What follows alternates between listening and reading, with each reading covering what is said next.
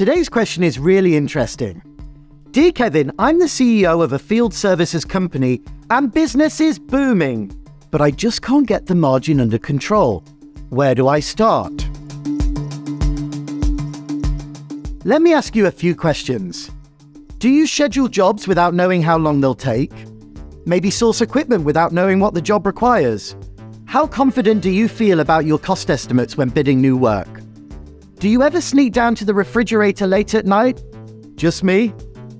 What I'm getting at is how good is your job estimation?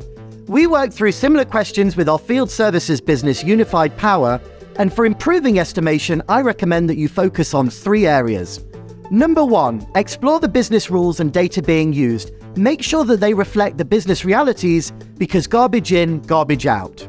Number two, leverage third party APIs to support with estimation accuracy for things like driving distance and so on. Number three, periodically evaluate the time it's taking to deliver the high quality work that your customers expect and build that into your estimates. And that's the T. Start with estimating and your margins will thank you.